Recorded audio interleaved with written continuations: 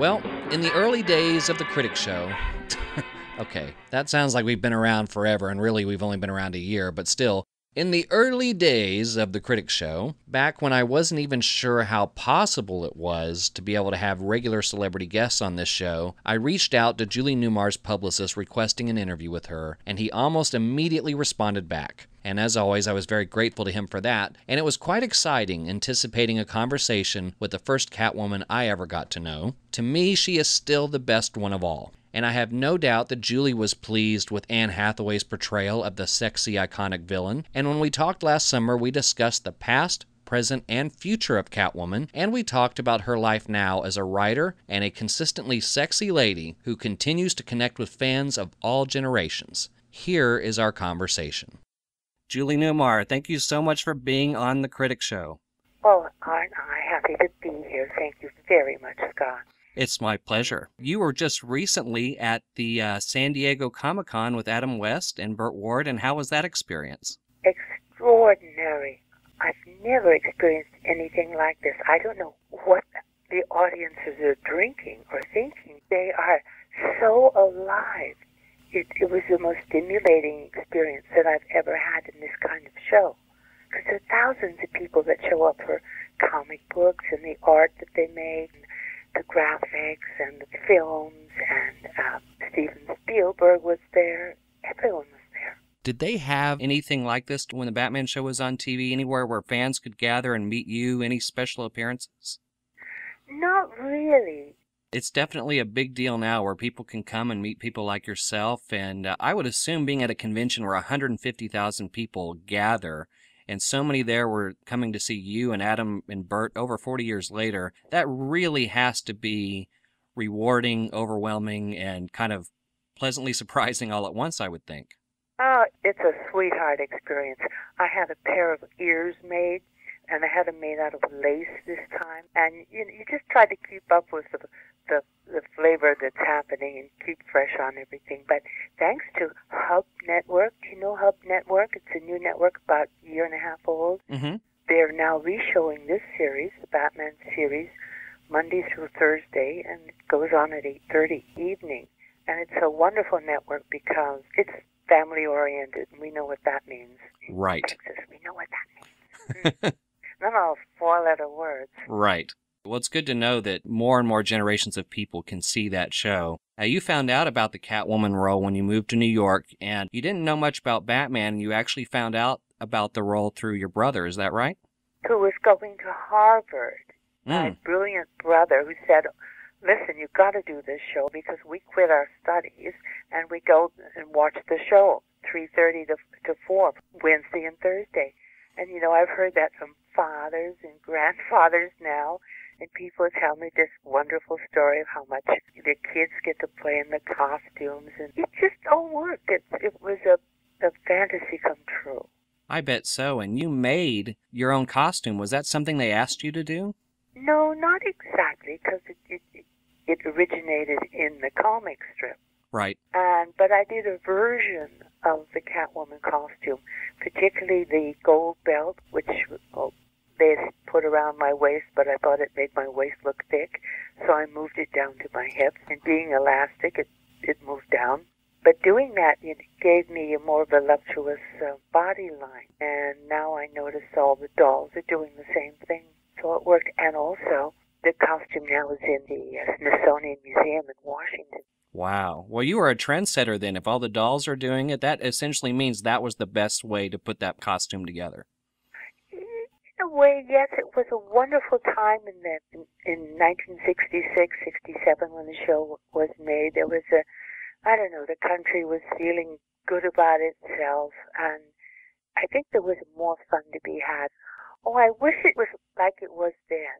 It was a trendsetter, though. Yeah. It was also a time when color came in right around then, and colors just really vibrated off the screen, so it had to have a punch, in other words. During the fight scenes, you had those big colorful words coming at you like zowie and bam and zonk. Another thing taken from the comic strip, just lifted right off and put on the screen. Yeah, it was brilliant. And it worked. It takes a bold producer. You have to have all the elements right. Casting, great producing, good music, and on top of everything, probably the most important thing is wonderful writing. Absolutely. You said you didn't have a lot of familiarity with uh, Batman and Catwoman, so once you got the role, what was your mindset as far as bringing Catwoman to life on the show? It was how fast I could learn the lines because they give you the script the night before. Some of the time, right there on the set, say, "Oh, we're going to change this entire scene here. Learn this right now while you're having a coffee break. Mhm. Just get in cos- costume and go do it." But television has that kind of excitement. On this show, they would shoot the rehearsal.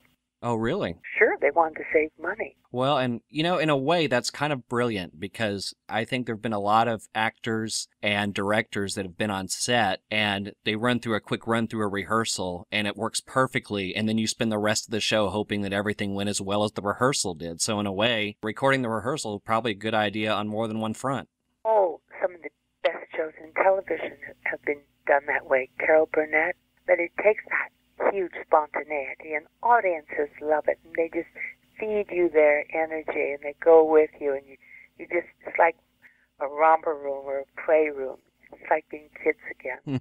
there went a long time before they attempted to do anything more with Batman, and then came this slew of films ranging from uh, obviously they made a, a film with Adam and Burt, but also years later they of course did uh, Michael Keaton and Val Kilmer and George Clooney and Christian Bale. We've also had a couple of different incarnations of Catwoman and a new one coming in the next year. Have you seen any of the new Batman productions in recent years, and what did you think of them?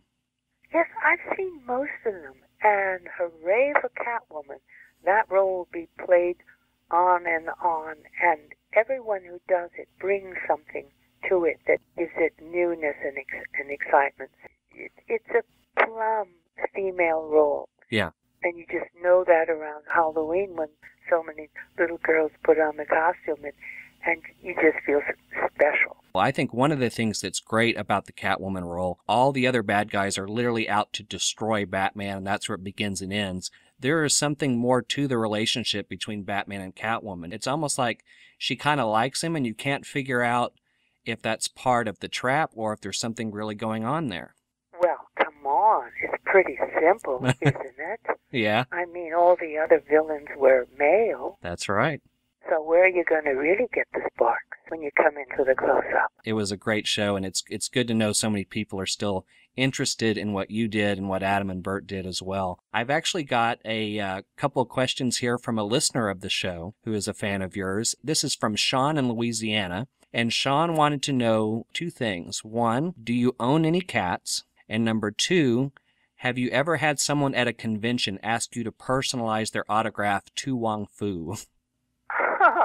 Last question is hundreds, maybe a thousand. really? Do Wong Foo, of course.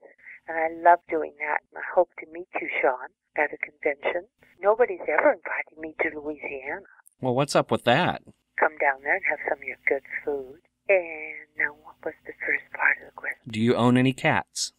Sean, as a matter of fact, when I first played that role, and then they did a second show of it, it there were six shows in all, I thought I'd better learn about cats. So I adopted two cats when I lived in New York, and I just watched them, watched how they behaved, you know, what they were like, what kind of sounds they'd make when, when they were pleased, displeased. And I've owned cats, but I don't. I have a, actually a comment from Rita in Pennsylvania. She said, I don't have a question, but I wanted to let you know, Julie, that I think you are amazing. So, not a question. If I met you, I think you are amazing, and I thank you. Thank you for that.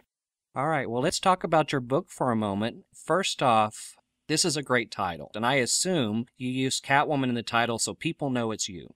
It makes it that much more familiar. Yeah. But have have you seen what the the cover? I have. What do you think? I think it's great. I think it stands out, and it's Did really, you really. see the whiskers? I do like the whisker. well, the title of the book is "The Conscious Catwoman Explains Life on Earth." right. So the book just came out last week. I'm enormously pleased with the way it turned out, Mm-hmm. and there are 70 photographs inside. The photographs are great. Many of them are my absolute favorite. Really the kind of book that you, you want to keep or you want to give to your, your 11 year old daughter or you, you want to share with someone you know what it is? It's a how-to book. People would walk up to me on the street and say, "Oh, you know, how do you stay slim, tall, and this and that?" And it isn't just a book about my figure, please. That was boring. it's a book about how to make life work when you're in the dumps and just just like a turtle that turned on its. How do you get right side up again? So it's it's little thoughts and one-liners, helpful hints on how to make yourself rich again. I noticed that it definitely covers a lot of ground, and like you say, with really simple one-liners, and I think that's great because that means you literally can open any page and get something from it. Exactly. I would assume that that this book is meant for everyone. There's not necessarily one group of people it benefits more than the other. What do you want most people to come away with after they read it? Um, that their life gets better and they notice it, and every day it gets a little better and a little better, and that's how you build a house. You put in one brick at a time. That's how you make a fortune. You you you put those dollars in, you know, and you just stick with it. And how to stay out of depression. I mean, that's really important. Sure. How to how to stay remember when I was around 10 or 11 years old, I read a book, How to Win Friends and Influence People. Yes. And it left an impact on me for the rest of my life. And I still have that book on my bookshelf. No, I probably bought another six or seven just because I wore it out, because it made so much sense. I felt as if the author really cared about me and what my questions were. The real answers are waiting to be heard by you yourself. If we just get in the way of that, we resist it. We we try to live up to other people's dreams, but the only dream that'll work for you is the one that's inside your mind, your consciousness, and your quiet space. Well, I noticed that in the book that uh, you point out that you're a model in your 60s, a writer in your 70s. So, are you ready to proclaim on the Critic Show what you're going to do in your 80s? Because I noticed that another part of your book is you say that there's plenty more to do. You know what? The, the real answer is, and I, ha- I haven't a clue what I'm going to do in my 80s, but if you really are in tune with where you are right now and, and accepting yourself as you are, when you get there, it'll all come clear to you bit by bit by bit. You won't be overwhelmed at all. It's really each step at a time. Very you true. don't take a thousand steps at a time, you take each. Well, I think this book will be a great read for a lot of people that are fans of yours and also can learn a little bit about how you've accomplished so much. So, how can people get your book? Well, you can go to my website, julienewmar.com backslash book. Okay. You can order it online. It's so new that it hasn't come out in Amazon yet. That'll take about six more weeks. But you also have another website where people can read more of your blogs and writings, correct? A matter of fact, I actually am working on four books. Oh, wow. Just four? um, at julienewmarwrites.com, up in the right-hand corner in red ink, there's a, a little questionnaire to people who'd like to, well, I can make them famous if they do this. If they would like to contribute a story about who was their first, I don't like this word turn on, but um, who was the first person that lit your fire? Okay. And you know how this happened? This all happened be- because of my portrayal of Catwoman, Yep. Batman. And after it came out, men would walk up to me on the street and they would say to me rather sheepishly, Miss Newmar, did you know that you were my first turn on? Mm-hmm. And that kind of set me aback, and I, I didn't know how to respond to that for quite some time. But then I got the guts to say to them, okay, well, how old were you? Yeah. and the answer almost floored Yeah. you know what they said? Um, I was four, yeah. five. yeah. Can you believe that? I remember watching an interview with you at one point in time at a convention on YouTube, and he mentions when he was a little kid that he didn't really, quote unquote, like girls. But then when he watched Batman and saw Catwoman, he was like, oh, that's what they grow up to be. Okay, I do like girls. Oh yeah, yeah, yeah. That could be fun. But you got to trust those boys. I mean, their instincts are right. You see. And here's the the fun part. Here's the interesting part that when I get these stories, and some of them are so beautiful. Well, I just want to remind everybody that Julie just mentioned that if you go to julienewmarwrites.com, you can submit your story about the very first one to light your fire. She will give you credit and be part of her next book. You can also go to that website and read some more of Julie's blogs and other things that she's sharing with her public. And we appreciate her sharing time with us today on the program. You can find out everything that Julie's been involved in on her website, julienewmar.com. Julie, it's been an honor and a privilege to talk to you. You're always going to be the original and best Catwoman in my eyes, and it was a thrill to have you on the show today. Oh, aren't I the lucky one, Scott? I really am.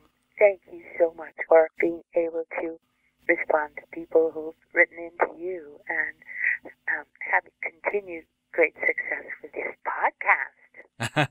I know it's a it's a growing thing. Isn't the world exciting the way it's evolving? And it's evolving so fast. We got to keep up with it somehow. Yes, we do. Well, I'm glad you stopped keeping up well with it for a few minutes to talk to me. And uh, all the best to you, and all the best in the book. And hope to talk to you again soon, sometime. Wonderful.